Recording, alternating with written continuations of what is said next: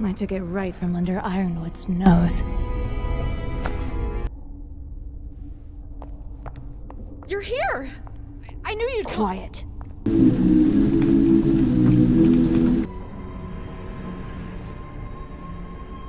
I was stupid to think the General would listen.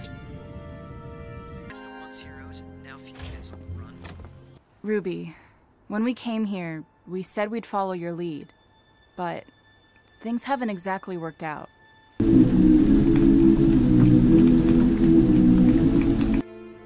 That's something we can actually do.